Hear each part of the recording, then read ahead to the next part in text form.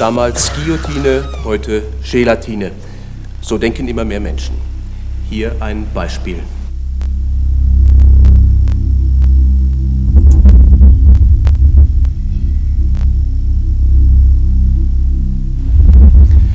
Ich möchte nun unsere Expertenrunde vorstellen.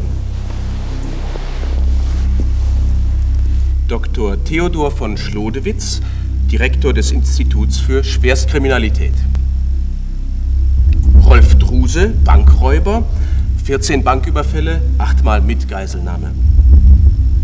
Hermann Kant-Herken, Soziologe und Hobbykrimineller.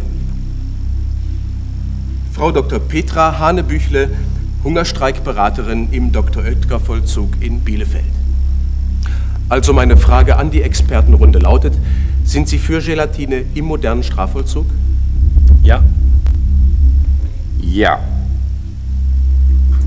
Nö. Nein. Ich danke Ihnen für dieses offene Wort.